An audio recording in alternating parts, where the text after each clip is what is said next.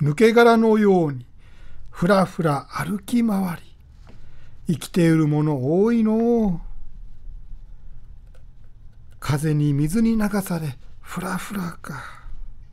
思いがないのじゃ。中身が空っぽなのじゃ。のう人間よ。生きていることに喜びを感じておるのか。わしから見ると流されているとしか見えぬ。思いが足りぬと言っているのじゃ。物事をやるかやらぬか。迷う暇があるなら物事を進めてみよう。やってみろと言っているのじゃ。もう何度も何度も後悔して生きてきたな。もう何度も何度も同じことを繰り返してきたな。今こそ己に勝つじゃ。今こそ己に勇気じゃ。背後にいる多くの支持者守護霊指導霊先祖とともに歩め進め。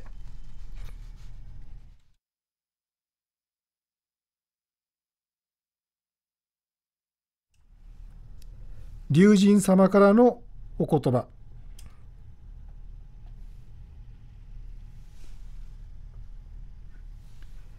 はい皆さんこんばんは。新馬良子の幸せの言霊のお時間です。パーソナリティは私新馬がお届けします。ねもう皆さん10月も30日というねあの時期に来てるんですがもうねもう11月も間近に迫っている今日この頃なんですがまあ、実はあの私昨日あの栃木の方ですね、まあ、あの南大山一緒に登った時に、まあ、知り合った方がいるんですが、まあ、関東の M さんって言ったらあなんか聞いたことある名前だなっていう方が多いと思うんですが実はあの昨日この方と、まあ、電話でね話をしたんですがなんとの栃木の方ではですね、まあ、日光の近くだと思うんですが栃木の方ではもう朝方っていうのはかなり冷え込むようですね。まあ、あの関東 M さんの奥さんは、まあ、寒がりっていうことでですねえー、っとまあ、暖房をつけてるんですよっていう話を聞いたんですがちなみに私はですね今日半袖でこのラジオをやってるんですが沖縄は今日はまあまあ暖かいっていうか暑いっていうんですかね26度ほどあるんですよね。だから縦に長いこの日本列島ね本当にあの日光の近くとここ沖縄っていうのはこんなにね温度差があるのかなっていうのをねつくづくのお互いに話をしたんですけれども。はい。で、まあ、あの本題に行くんですが今日はの龍神様の言葉をご紹介してきました。はい、この言葉を聞いて皆さんなんか打ち値するなもしかして自分のことなの？とかねそういったのご意見が聞けるというかまあまあ聞こえてくるんですが、ね、最初に抜け殻のようにふらふら歩き回り生きているものがなんでこんなに多いの？ということを言ってるんですね。風にふらふら揺れ水にふらふら流されているじゃないかと。つまりあなた方人間って自分の意思はないの？自分は何をしたいの？どういった行動をしたいの？ということがないのでしょうかと。周りの風に流され周りの意見に流されてきているの？それじゃあ一体あなた方は何のために生きてきたんでしょうかと。で神々様はつくづく言うんですね。人間っていうのは周りの幸せ世のため人のためにね生きていくんですよと。世のため人のために生きていくってことは自分自身のためにもなるんですよってことをねよくおっしゃってくるんですが最近の人間っていうのは中身が空っぽじゃないかと。脳人間っていうことですよね。あなた方人間は生きていることに喜びを感じていますか？私から見るとなんか流されてるようにしか見えないよと。つまりあなた自身の思いがないのでしょうかと考えがないんですかと人に流されてそれでいいんだという気持ちではいけないよと言ってるんですね。私たち人間っていうのは生まれてね今日までいろんな試練とか大きな壁があったと思うんですがそれを乗り越えて今の自分がいるんですね。まあ当然、まあ、乗り越えないで、まあ、迂回してね人の、まあ、手助けを受けた方もいると思うんですがやはり誰しろ必ずね自分の壁を乗り越えてきたことある人はいると思うんですね一つや二つぐらい。やはりあの乗り越えた気持ちっていうのは忘れてはいけないよ。物事をやるときにはやってくれよと。迷ってどうしよう不安だなっていうんであればやってみてはどうかなと。物事をやってみて失敗してもいいじゃないかと失敗したら次チャンスがあるでしょうと成功したらやったじゃないかと喜べ喜べっていうようなことを言ってるんですね私たち人間って本当に何度も何度も後悔して生きてきている。つまり後悔ということは悪いことではないんだなと。次の成功のために私たちは失敗をして後悔をして生きてきてるんですね。だけれどもそこで神様言うんですよ。もう何度もね同じことを繰り返して失敗もしてるでしょうと。だからこういうね失敗はもうねやめようではないかと。同じ失敗やめようではないかと。もう成功に変えていこうよと。今こそ己に自分自身ですよ。喝を入れなさいと。しっかりしろ何々。しっかりしろ自分とかね。そういう喝をね言葉をかけなさい。言霊をかけなさい。ってことを言ってるんですね。言霊をかけるにもやはり勇気が必要なんですね。自分自身に勇気を勇気を勇気を与えてくれ。勇気を持ってしっかりと喋るんだ。それのね気持ち言霊をね発していきなさいよと。何もねあなた一人で考え込まなくてもいいんだよと。あなたの背後にいる多くの支持者がいるでしょうと。言うんですね。でねあのこの言葉を聞いた時ですね自分自身あとあの周りにいる方を見た時ですね守護霊とか指導霊とかねあと先祖霊をね見ることができたんですね。ああ私たちっていうのは何も自分一人で生きてないんだと。守護霊さんがいて指導霊がいてあとはねウヤファー富士。ご先祖のね多くのご先祖の支えのもとに私たちは生かされているんだなと。なんて感謝感謝の日々なんではないかなと思うんですね。だから何か物事を行う時っていうのはやはり自分自身で決めるのも一番大事なことですね。あと人の意見を聞いて参考にすることも良いことでしょう。そして守護霊指導霊先祖の方に語りかけてみてはいかがでしょうか。私はこれからある事業を行いたいと思いますとかねあるまあ何て言うんですかねある物事を進めたいと思います。どうかお力をお貸しください。守護霊指導霊先祖の皆さんっていう形を言うとですねああそうかうんよくわかった。じゃあお前にね力を貸してあげよう。っていうことになってくるんですね。でもそれでもですよ日頃から自分自身の思い気持ち言霊っていうのをね正しき思い正しき言霊を使うっていうことにね努力していきましょう。そうすると多くの支持を得られていくことでありましょう。ではここで一曲ご紹介します。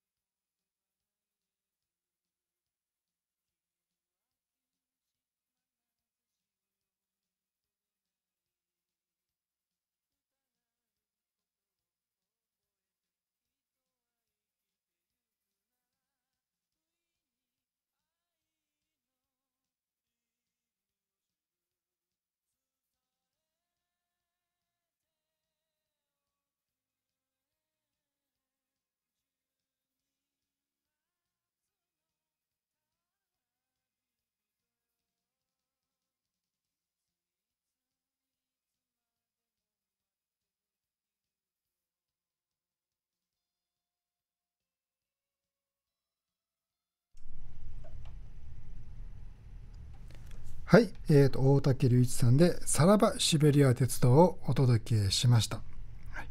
今日あの、まあ、私一人っていうことですね神言葉をですねもう一つご紹介していきたいと思うんですね。あの繁盛心って言ってですねあの、まあ、栄えある私たち人間をねこう栄えさせていきたいと。あなた方に力を貸してあげたいっていうねあのよく商売繁盛とかねそういう繁盛っていう言葉を使うんですがこの神様の言葉をねご紹介していきたいと思うんですね、まあ、あのブログでもご紹介してるんですが、まあ、実際に言霊としてですね皆さんにお届けしたいと思います。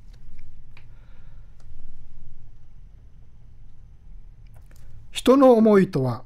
温かさあれば力強く嘘隠し事魂があれば心にないことを行うことは顔が崩れ悪しき姿じゃ。真面目になりたいのかの悪しき姿で心で拝もうとも我々は何も聞かぬ。世のため万物世界平和、そしてそなたの心の繁盛のためなら、我々は力を注ぐ。人間よ、今一度、今一度考えよ。他人の感情に矛先を向けてはならぬ。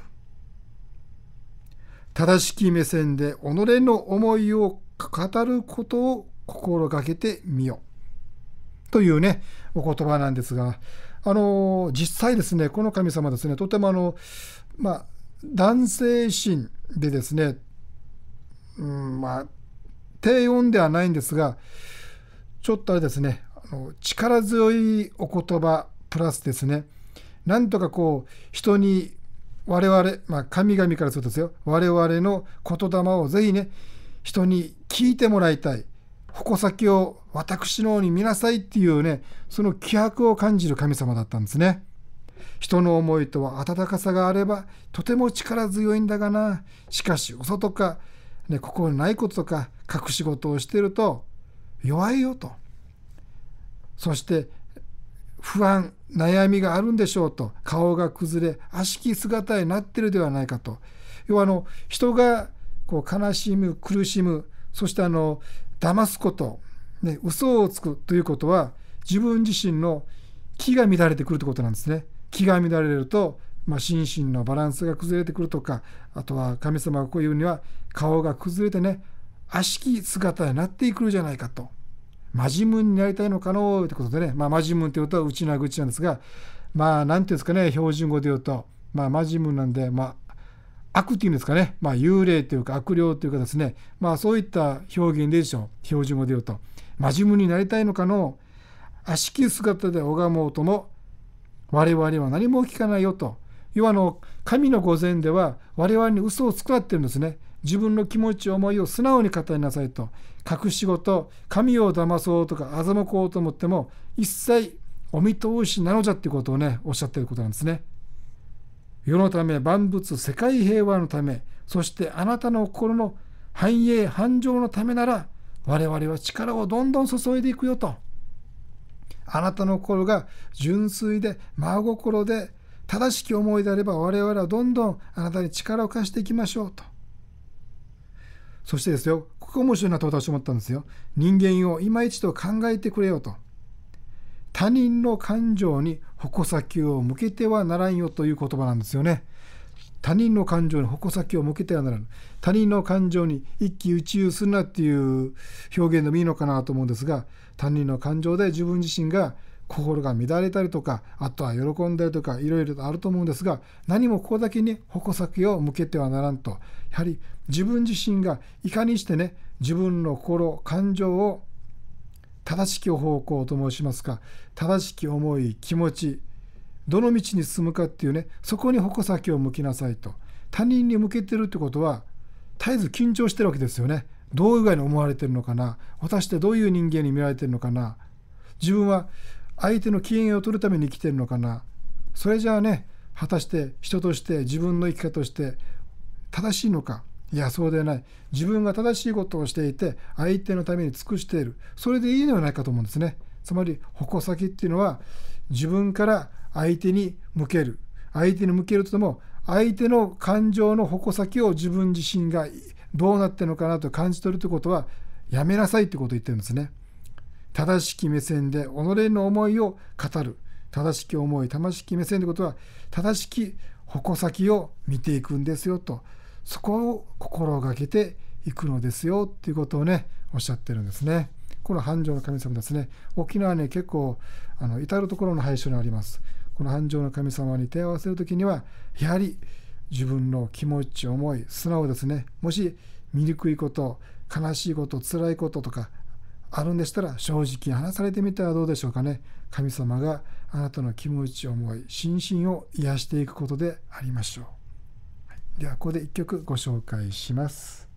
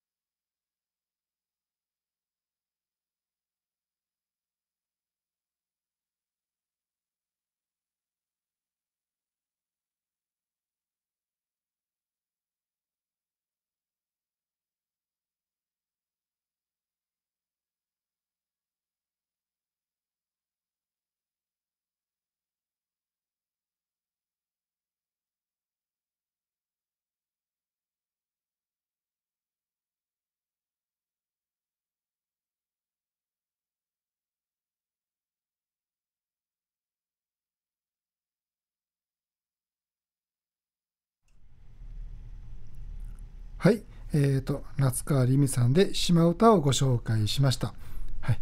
えー、っとですね、ちょっと教えてコーナーなんですが、あのー、昨日ですか、えーとまあ、セオリス姫様がね、まあ、っていうかあの、綺麗なの天から降り注ぐ光が降りてるものですよね、静岡の K さんからいただいたんですが、それをブログに更新しました。そしてですね、ブログを更新したらですね、まあ、いくつかあの、まあ、メールが来た中でね、一つご紹介していきたいと思うんですが、タイムリーな聖律姫様ですねと。母が守るこの姿が浮かびます何を伝えたいのでしょうか昨夜の話題心身の左右の思いも陰陽表と裏の関係ですよねバランスをとり自分自身を信頼する。点々。そう進みたいです。相手に向けた言霊は良いも悪いも自身に返ってくることを知りそれに思いを気を良いも悪いもまぶいも引き寄せることは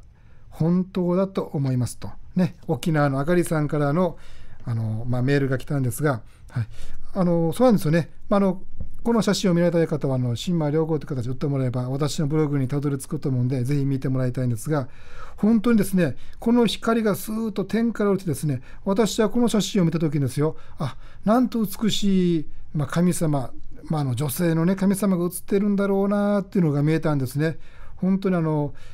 この美しい神様はどういったことを私たちにお伝えしたいのかなと今の世の中の状況をお伝えしたいのかな今の私たち人間に対しての思いをお伝えしたいのかなとやはりね私も感じたんですね。私たち人間っていうのはあの確かに思い、まあ、感情とかあとは人に対する気持ち心ですよね。まあ、裏と表が関係がありますよねってことあがりさん言ってるんですが確かにそうなんですよね。はい、あの綺麗事って言われるかもしれんけどいくらの良きことを思いなさいよ正しいこと思いなさいよってもやっぱり人間なんでねどうしてもこの逆のことを考えることはあると思います。でもしかし私思うんですね。良きことが悪しき思いよりも上回っていれば今日一日分かったっていうねことでいいのではないのかなと思うんですね。つまり自分自身は良き思いが今日は多かったと。良かったと相手に対する気持ちも良きことも悪いこともあったかもしれない。でも良きことの方が多かった。私はそれでいいと思いますね。つまり思いも気持ちもっていうのもこの今回の神の光をねこの神の光折れてるんですがこの裏側っていうのは暗いわけですよね。つまり私たち人間の思いと一緒に明るさもあれば暗さもある。その陰陽をねうまく調和する。それをまず大事なんだよと。つまりこの光のところもあれば影のところもよく見なさい。そしてあなた自身の気持ち思いのね表と裏もねよく見ていくんですよ。つまり自分自身の思い気持ちっていうのは果たしてどこに今向かっているのかなっていうのを考えてみたらどうのかなということをねこの写真を見て私は思いますしこの沖縄のあがりさんのねこの質問に対する気持ちもにお答えできてるのかなと思うんですが実はあのこの写真を送ってくれた、ね、静岡の K さんからもコメント来てるんですね。写真を紹介してくださりありがとうございますと。